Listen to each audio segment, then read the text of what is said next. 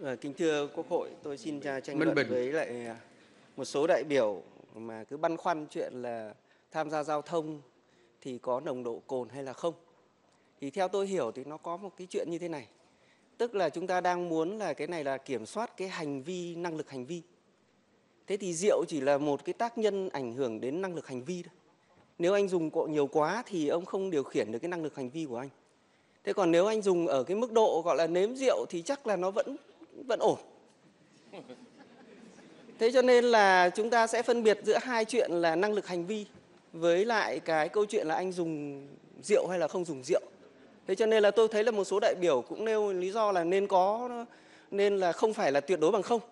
Thì tôi thấy rằng cái câu chuyện này là chúng ta chỉ có mắc ở nhau ở cái chuyện là giữa cái kiểm soát năng lực hành vi với lại cái cái cái, cái tác nhân mà gây ra cái năng lực đó. Bởi vì nếu chúng ta muốn là kiểm soát toàn bộ cái tác nhân để gây ra cái năng lực hành vi nó yếu kém ấy, thì chúng ta không phải chỉ có rượu thậm chí là có cả cocaine rồi có cả những cái cái chuyện khác. Thậm chí có một anh đi trên đường mà chỉ nghĩ vợ đã tin vật chân run rồi không thể điều khiển được xe nữa.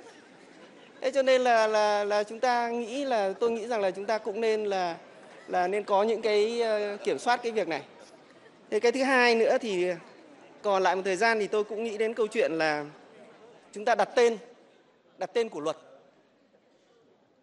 Thí dụ chúng ta đặt tên là luật, là an toàn trật tự giao thông đường bộ, thì cái câu chuyện là an toàn và trật tự, đấy là cái mà chúng ta đang muốn hướng đến. Thậm chí cái luật này chúng ta còn muốn hướng đến cái cao hơn như thế, tức là giao thông nó phải văn minh.